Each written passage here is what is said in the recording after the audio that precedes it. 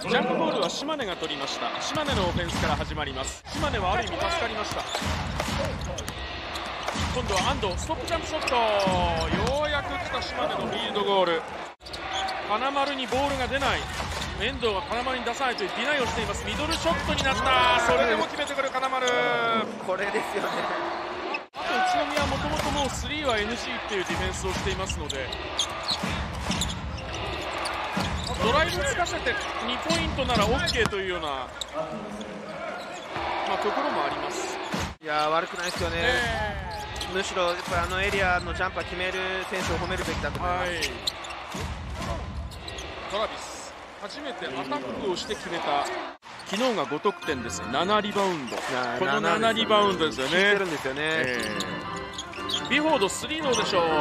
最初の3行きましたビフォード。もしもししてましたね。トラビスのピックを使って外白浜打てない。もう一回トラビストラビスアタックがあります。外安藤がオープンになったコーナーから。安藤これで11点。おおゴールした日経エクストラパスを絡ませますおおニック系さらに。阿部が狙ってくる。阿部と白浜がウィークサイドにいます。トップの位置にビフォード。ニック・ケイが今スリップしてビフォードミドルショット。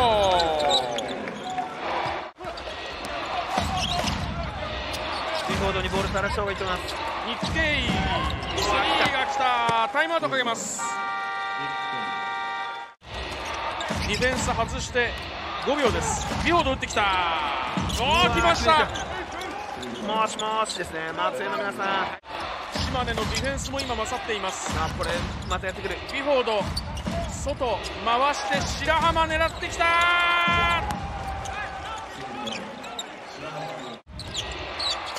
安藤が仕掛けるか。白浜右金丸左。安藤打ってきた。残り3秒。きたうわーこここまでのところ島根のゲームになってますね。11対0のラインになっている島根。スキップパス。安藤。うわー来た。17点。何度せや止まらない。いいハリーバック。そしてテーブスですがこの金丸のプレッシャーがありました。島根の逆襲です。そしてステップを見ながら打ってきた。阿部です。トラビスのピックは使わずアタックしていく安藤。コーナースリーが来ない。あーリバウンド頑張ってる島根。これもトランジション。阿部アタック。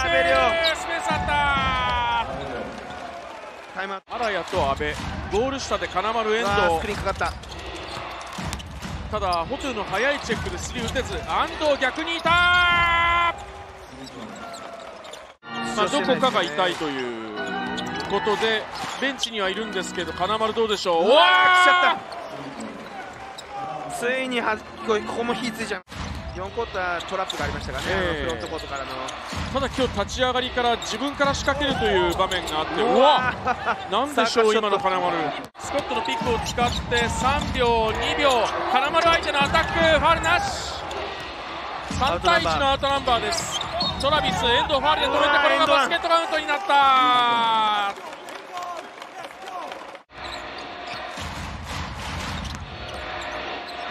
うわーオープンになってる。うわー決めてきた。金丸。ミドルショットになった。うわーステップバッ安藤。うわー走ってる。そして速いパス回しビフォード。クロック使い切っても7秒残りますがビフォードアイソレーションかミドルショットになった。リバウンド白浜。